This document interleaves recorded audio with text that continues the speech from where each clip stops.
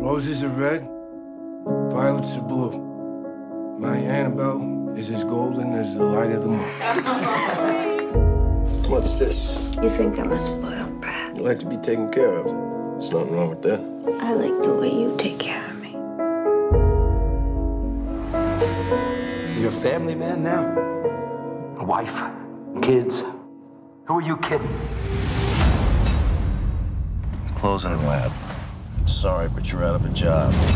You follow orders, you got everything to gain. If you don't have it in you, now's the time to say it.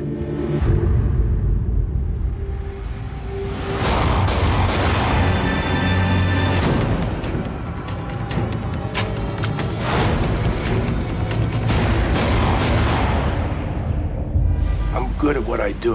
What about leaving witnesses at a murder scene? I don't kill women or children. I have loose ends now. All right, kids, that's it. Go on home. We're closed. You got a second? So, is it my lucky day or my last? I want to be my partner. You take care of the details. I do the hit.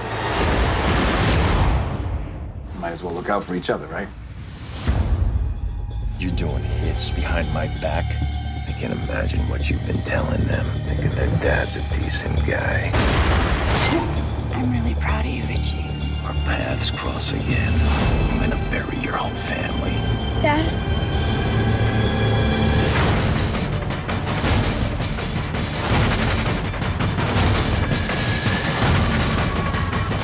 There ain't gonna be nothing else to be afraid of. I didn't know I was supposed to be afraid.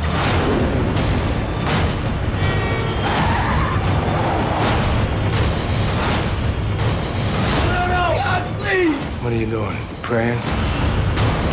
You think God's gonna save you? You tell him to come down and stop me. I guess God's busy. Don't, don't, don't, don't!